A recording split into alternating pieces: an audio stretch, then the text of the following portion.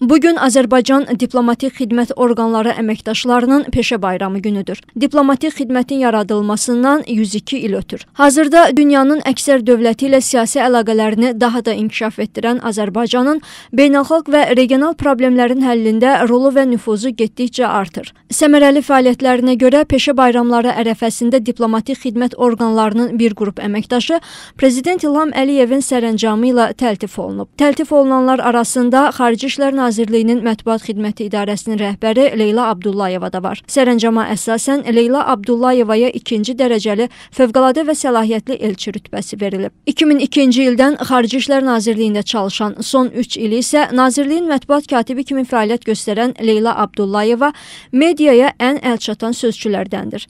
Xüsusilə də müharibə vaxtı diplomatiya masasında da proseslərin ən aktiv olduğu bir zamanda Xarici Siyasət Qurumunun fəaliyyəti barədə cəmiyyəti vaxtında məlumatlar maraqlandırmaq, jurnalistlərin sualını günün istənilən saatı cavablandırmaqda Leyla Abdullayevanın əməyi xüsusi vurğulanmalıdır.